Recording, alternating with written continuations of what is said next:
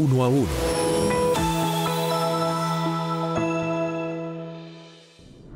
Hola, bienvenidos a Uno a Uno. Yo soy Ramiro Avendaño.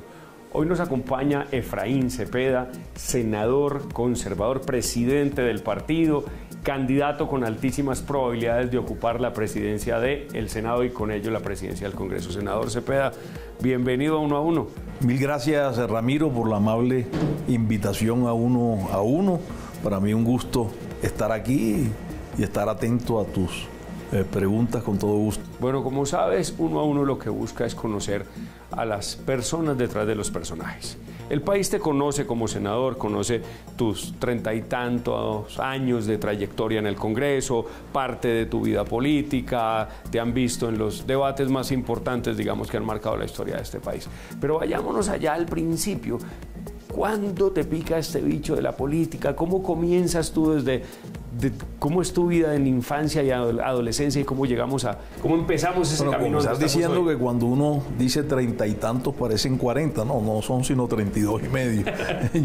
Yo pues eh, provengo de una familia, mi padre un gran empresario que se hizo a pulso de cero. Mi madre pues eh, una persona de un corazón muy grande y muy noble. Y digamos, de niño recibimos ambas enseñanzas.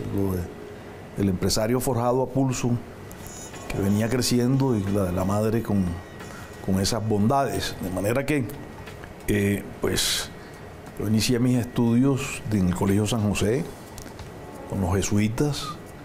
Hice desde kinder hasta sexto bachillerato que se llamaba así.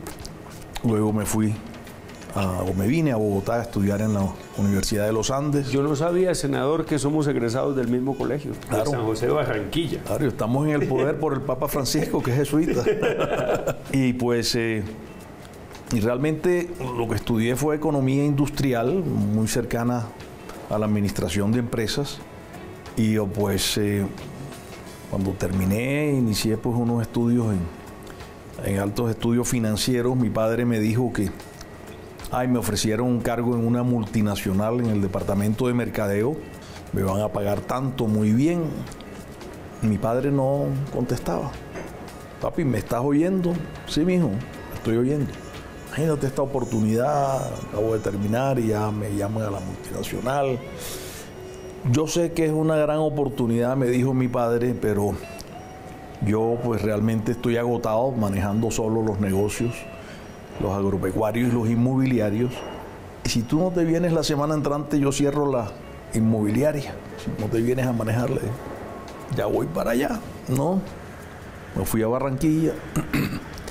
Pero digamos, mi espíritu siempre ha estado entre el empresario de mi padre y lo bondadoso de mi madre. Eh, llegué y fundé la Asociación de Exalumnos de la Universidad de los Andes en Barranquilla y comenzamos a hacer una serie de programas cívicos sociales. Eran unas épocas asiagas para la ciudad, donde faltaban los servicios públicos y el aseo. Entonces, digamos, hicimos programas de cultura ciudadana, metimos mucho en el tema del aseo y del pues, el planteamiento de temas. Posteriormente, ya manejando la inmobiliaria, Ah, bueno, llegué a presidir esa asociación que cofundé con unos amigos y luego pues entré a la lonja de propiedad raíz de Barranquilla. Fui presidente desde la presidencia, también impulsé unos programas de orden social en los barrios de la, de la ciudad. Eh, mm, continué con ese proceso, fuimos, fui luego presidente nacional de la Federación de Lonjas de Propiedad Raíz y me dediqué a fundar lonjas en departamentos pequeños que sé que necesitaban de esa capacitación. Recorrí el país, eh, recorrí la región Caribe y fundamos una serie de lonjas regionales. Mm, estando en eso, me eligieron presidente del Comité Intergremial del Atlántico y yo me pregunté qué era lo prioritario para la ciudad, una ciudad postrada. ¿Más o menos en qué año? Año 89.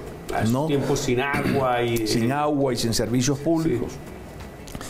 Y lo más grave era el tema de el agua potable, las empresas públicas cooptadas por grupos políticos eh, no había agua, los niños mm, padecían de enfermedades gastrointestinales.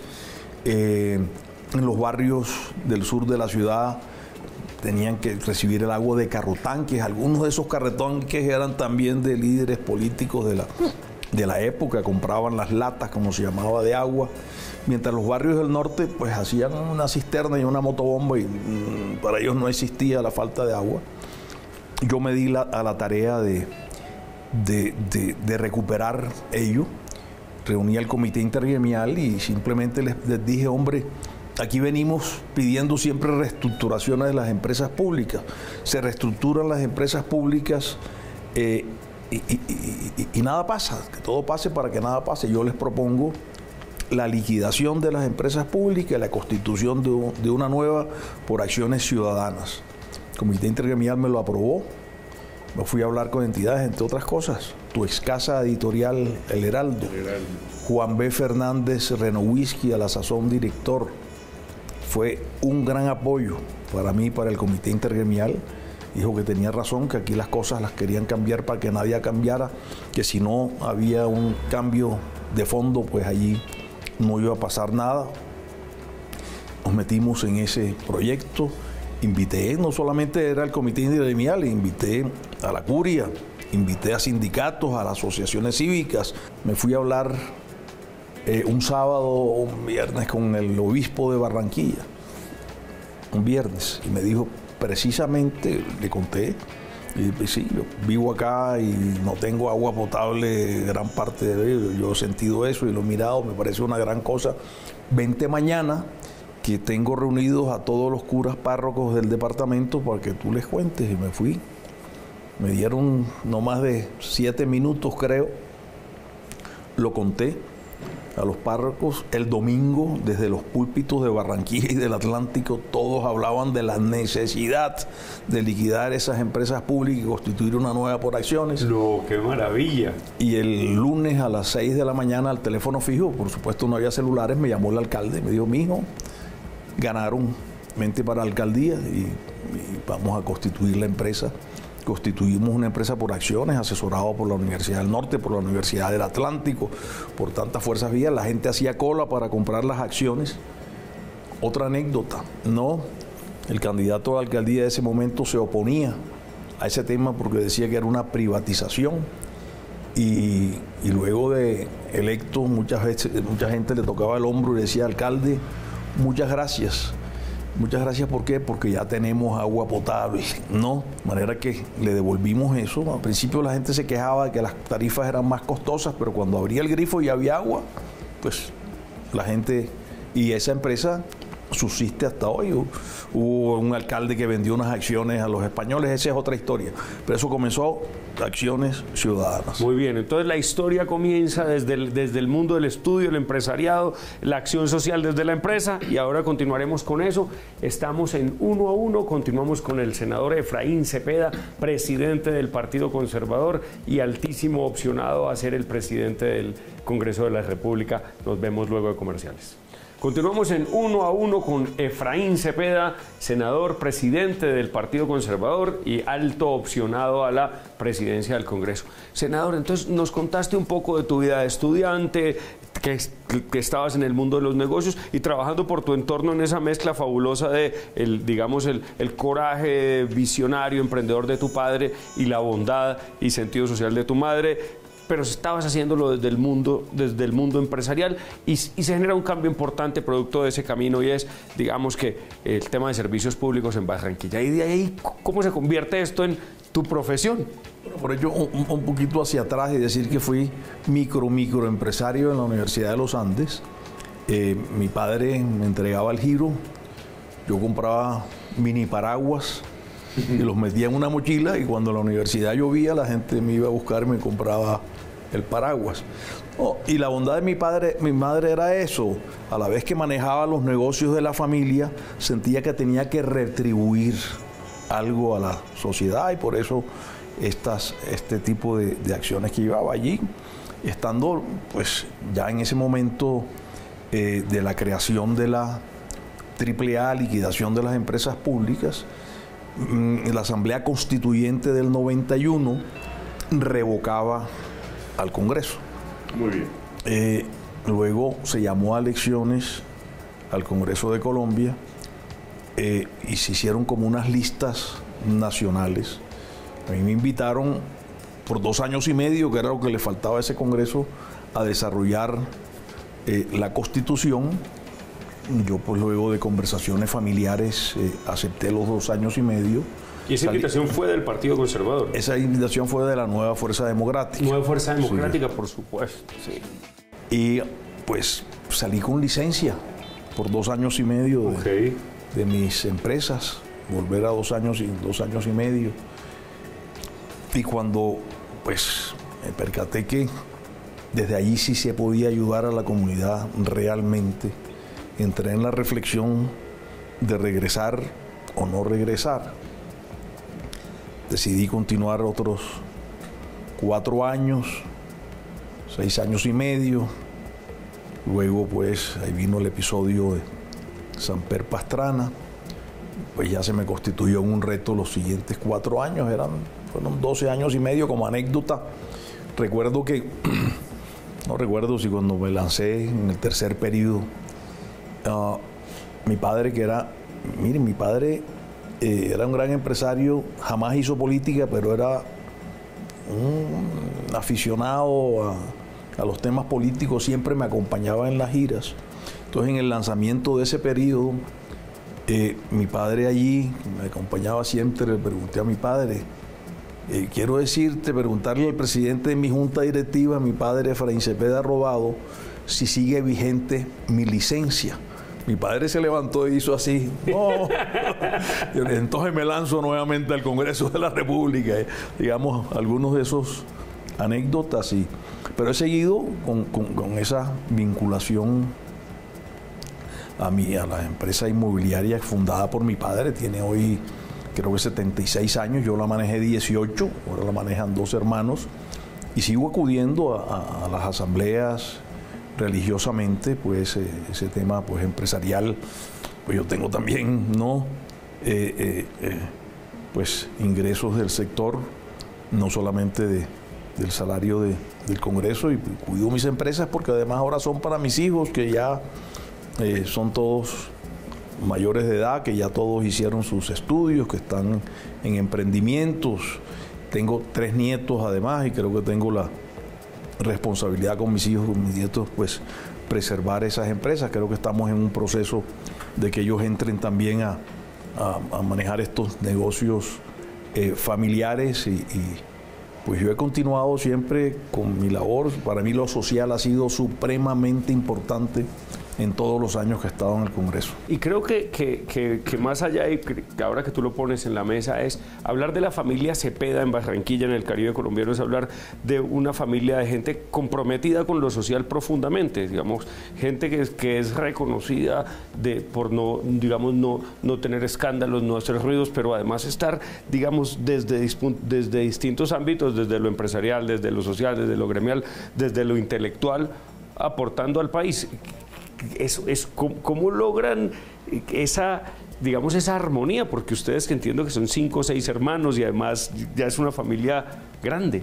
Fuimos seis, uno falleció, somos cinco y somos los mismos cinco socios de la inmobiliaria y creo que pues, estas reuniones que son casi que mensuales y pues desde la cuna han servido para que tengamos como perfiles similares de los, sobre todo de lo social. Hay algún hermano mío pues también muy social, pero todos y todos siempre pues hemos tenido y conocimos por ejemplo desde las fincas de mi padre de cerca la pobreza de algunos de los trabajadores y, y el corazón de mi madre ayudándolos y ahí estuvimos nosotros al lado. Mi madre tenía los viernes en mi casa, materna y paterna, pues tenía las puertas abiertas para todas las personas que querían acercarse, que mi madre le diera una donación o le comprara em, el bollo de yuca, como, etcétera, etcétera. Entonces, mi madre los viernes, todos los viernes recibía y todos los viernes le entregaba algo a la, a la gente. Y eso, pues yo creo que nos ayudó mucho a ver ese, ese, ese, carácter eh, de mi madre y el carácter empresarial de mi padre, como lo dije hace unos instantes. Y nos hemos sentido cómodos siempre con lo social, por eso uno de los factores que me hizo quedar en la política es cuando vi que se podía ayudar más a la gente al desarrollo de las regiones. La región Caribe ha sido una región pues más necesitada, con altas necesidades básicas y satisfechas, todas, todos los departamentos, con excepción del Atlántico, hoy siguen todavía eh, encima de la línea de pobreza y pues eh, allí, pues por eso también estoy en comisiones económicas tratando de, ayudarle a todas las regiones del país, pero fundamentalmente aquellas de más necesidades básicas insatisfechas. Muy bien, pues interesantísima historia, senador. Vamos a un corte de comerciales y vamos a entrar en este último corte a hablar del rol político y de lo que se viene para Colombia y la responsabilidad que ocupas y que esperamos eh, se amplíe un poco más. Entonces vamos a un corte de comerciales. Continuamos con el senador Efraín Cepeda, presidente del Partido Conservador y alto opcionado a ocupar la próxima presidencia del Congreso de la República. Continuamos en uno a uno. Estamos con el senador Efraín Cepeda, presidente del Partido Conservador y alto opcionado a la presidencia del Congreso. Bueno, senador, ahora ya que te conocimos por dentro del origen, cómo llegaste hasta aquí, hablemos de política. Eh, en estos años que has estado, ¿cuáles han sido los ejes fundamentales de, tu quehacer legislativo eh, y qué se viene? ¿Cómo, ¿Cómo vislumbras el futuro del país y el rol que del Partido Conservador eh, en, el Congreso de la República, el tuyo mismo, y eventualmente, si las cosas se dan, el de la presidencia desde, desde el partido, desde tu gestión? lo mío ha sido siempre en comisiones económicas, cuartas y terceras, eh, siempre eh, tratando de impulsar programas, tratando de impulsar factores de desarrollo. Por ejemplo, pues impulsamos bastante el nacimiento de familias en acción, eh, un programa pues que ha sido pues maravilloso y que le ha ayudado a muchas familias colombianas, pero también los proyectos regionales. Lo mío era el equilibrio en la distribución del presupuesto. Mucha gente, muchos gobiernos dejaban, eran unas grandes cajas allí y esas grandes cajas eh, simplemente las repartían a dedo. la primera trampa que encontré fue una cosa que se denominaba por demanda. Yo al principio pensé, pues realmente, como debía ser lo lógico, que demanda era las regiones que más las necesitaban, no. Todo lo contrario. Fue perverso el tema porque eran las regiones que más músculo tenían para presentar un, un proyecto y llevárselo a su región, en detrimento, digo, por ejemplo, Santa Lucía Atlántico, de 12 mil habitantes que podía tener para presentar un proyecto, mientras que grandes capitales pues tenían la posibilidad de presentarlo primero y esa era la demanda, oh. falsa demanda. Entonces inmediatamente promoví un tema que se denominó regionalización de presupuesto con grupos de parlamentarios que hemos ido perfeccionando y simplemente para los debates se nos entrega un cuadernillo donde está la distribución regional y de eso no se puede eh, salir y pues eso comenzó a hacer justicia con las diferentes regiones. Soy el coordinador en el Senado de la República de las MIPIMES.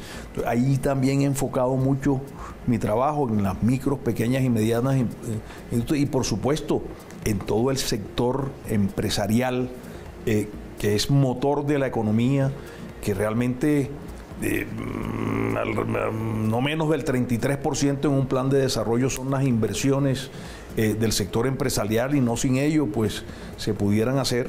Este gobierno pues no es tan afecto a eso, pero las 4G, las dobles calzadas eh, y muchos otros temas son impulsados por el sector privado y generación de empleo. Entonces digamos, mm, eso lo hemos apoyado como hemos apoyado temas inherentes al Partido Conservador, como el apoyo a la familia. Para Efraín Cepeda la familia es lo más sagrado. He sido, como tú mismo lo mencionabas, Ramiro, un hombre familiar. Mis padres que en paz descansen, mis hermanos, mis nietos, etcétera, mi familia. Somos muy cercanos y yo creo que la familia es lo primero en la sociedad. Eh, el orden, la libertad, eh, por supuesto, pues insistir en, el apoyo a la generación de empleo. Eh, mi abuelo, mi abuelo, por supuesto que en paz descansa, hace muchos años era un mediano ganadero de Sabana Larga Atlántico me decía cuánto niño, yo a veces no lo entendía, me decía, mi hijo, quiero que sepas que todo lo limpio es bonito menos el bolsillo. Y a mí me parece que eso contenía una gran filosofía y, me acuerdo de mi abuelo cuando veo pues, a gente muy necesitada y, ahí tratamos de, ayudar ¿no? hasta donde se pueda, hasta donde nos lleguen, lleguen las energías y, de pecunio personal también. Ahora, eh, construcción de paz en el país. ¿Qué nos hace falta? ¿Qué, qué, qué cambios hay que hacer? ¿Qué cosas se pueden intervenir en el corto plazo que nos empiecen a llevar a un proceso genuino de reconciliación en un momento en el que pareciera que por el contrario lo que se están es zanjando más diferencias de las que teníamos antes? Bueno, mi partido ha estado siempre cercano a la paz. No estaba, por supuesto, todavía, pero se apoyó el proceso de Belisario Betancur M19, luego el proceso Pastrana del Caguán eh, y luego pues el de, el de Santos. Eh, me tocó presidir un año el Congreso, el año de la implementación de los, de los, de los acuerdos y pues lo apoyamos como partido, lo apoyamos en la implementación. Mm, y ahora pues hay una serie de procesos. Aquí lo que siempre, Ramiro, hay que tener cuidado es que estos grupos armados no se aprovechen de un proceso de paz y unos cese al fuego para rearmarse, para retomar las rutas de narcotráfico, eh, para seguir secuestrando. A mí me parece que esto tiene que tener unos límites, tengo preocupaciones con algunos de estos procesos que se han tomado rutas de narcotráfico. Para desincentivar la criminalidad, ¿hace falta una reforma en el Congreso o hace falta que se apliquen las normas que ya existen o las leyes ya Yo creo que la mayoría está en, las normas. Eh, y creo que lo que hay es que seguir combatiendo el narcotráfico, que es el combustible para estos grupos armados entrar a cercenar sus rutas, hacer más incautaciones, se vienen haciendo algunas, eh, la producción también, la sustitución de cultivos, pero, pero digamos, estos procesos de paz también deben tener fecha de vencimiento, se firman o no se firman, eh, estamos a, a dos años de terminar este gobierno, yo creo que tampoco se pueden firmar en las postrimerías, yo creo que hay que ponerlos también, no eh, a, demostrar que sí quieren la paz. pues, digamos, el tema del ELN se han negociado con tantos eh, gobiernos y no se ha podido. Creo que hay, hay, que ir, irle poniendo unas fechas también. Y por supuesto, también cuando se rompan los pactos y los acuerdos, se siga secuestrando narcotraficantes, también se puede romper un proceso, esa parte también hay que mostrarla. Esperamos, por supuesto, que culminen bien la mayoría de ellos, pero, pero no soy totalmente optimista. Muchas gracias, senador. Muy importante, muy interesante toda la lo que nos cuentas en, el programa hoy. Eh, muchos éxitos en lo que se viene en este nuevo periodo legislativo. Espero que, que, los votos te acompañen para lograr la presidencia del Senado y que desde ese rol ejerzas como debe ser basado en esos, en esos ideales y en, esas, en esos principios que nos has compartido. Mil gracias por la amable invitación. En mí el Congreso va a encontrar una persona que brinde garantías, pero con firmeza en lo que creemos. Estuvimos en uno a uno con el senador Efraín Cepeda, presidente del Partido Conservador, alto eh, candidato candidato con altas probabilidades de ocupar la presidencia del Congreso. Yo soy Ramiro Avendaño y nos vemos en Canal 1 dentro de ocho días. Uno a uno